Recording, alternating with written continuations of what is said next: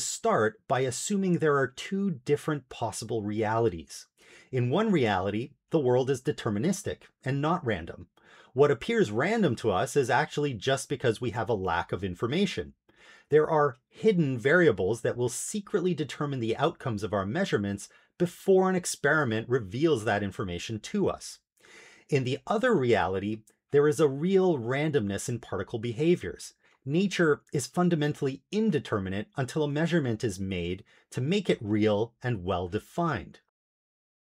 Each scenario has implications for our real world that can be tested. It turns out that there's a subtle difference in the expected probability of our measurements in each scenario.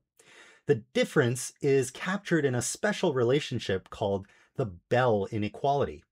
Simply speaking, the Bell inequality can be used to predict the likelihood of measuring a particle's spin in a particular orientation if there are underlying hidden variables.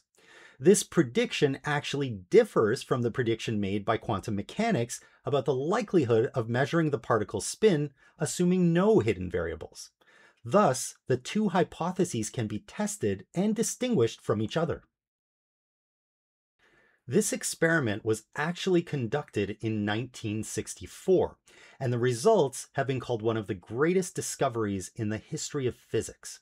The outcome of the experiment proved conclusively that we do not live in a universe that is governed by particles containing predefined hidden variables.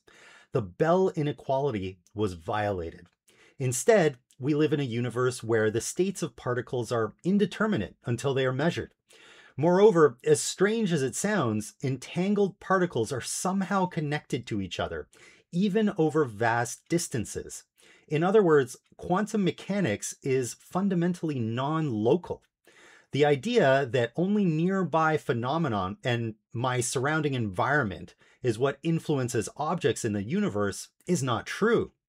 There is a correlation and instantaneous assignment of particle states between particles, which is unaffected by the limit imposed by the speed of light in spacetime.